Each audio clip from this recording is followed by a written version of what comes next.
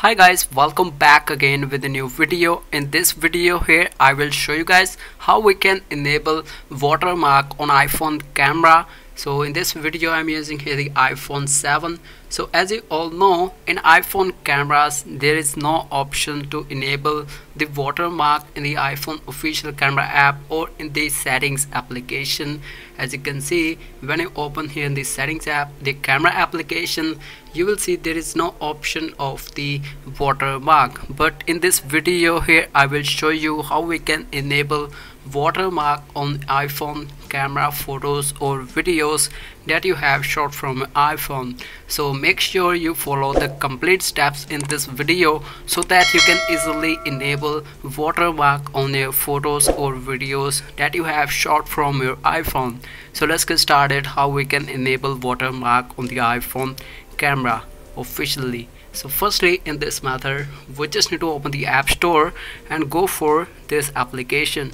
So the name of the app is shot on for iphone watermark. So firstly go and install this app on the iphone. As you can see the rating of this application is 4.3 so this is so great. So firstly go and install this app on the iphone. So after installing this application now we just need to launch this application just like this one so as you can check here this is the interface of this application. The first one option is for logo. The first tab is to tap on this logo option. So as you can see there are many logo. So if we're having single camera iphone you can select here the logo with the single camera. So also you can check out there are triple camera setup double camera logo. You can select any of the logo which you like. So i am having the single camera. So that's why i select here the first one logo. So now go back and click on this short term. So now here we just need to select here that iphone that you are using. So i'm using the iphone 7 so this application automatically select your iphone or you can easily select your iphone manually simply by tapping on that particular iphone. So after that simply go back again and click on the shot by. And here guys you can easily enter your name. So now just tap on this done option and simply go back. You can easily hide this name option. Simply click on this option. You can easily check out the preview how the shot on iphone watermark will look on your photos just like this one. So now again go back here and click on this font style. So you can select here different different types of fonts in this application as a watermark. So i select here the top one font and simply go back after selecting your font and click on this stamp size option.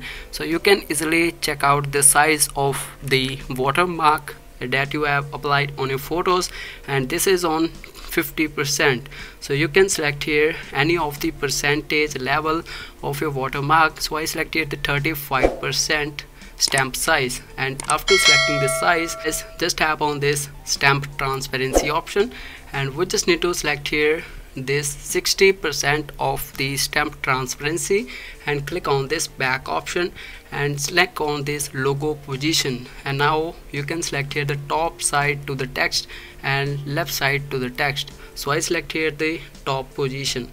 So as you can see after enabling all these settings in this application just hit on this gallery option. And now guys just select here any of the image. I select here this one image and click on this done option and now you can check here there is a watermark available in the bottom side. You can check here shot on iphone 7 by this person. If you want to save this photo in your photos application just hit on this photo and this will automatically saved in your photos application. And go and check out the result and check out the photo. And you will see this one is the shot on iphone watermark for the iphones camera. So this is the way you can easily enable shot on iphone watermark on any of the iphone. So i hope you guys find this method helpful. Please give a like and also share this video with your friends so guys they can also enable any watermark on the iphone camera photos or videos. So i will see you in the next video. So guys thanks for watching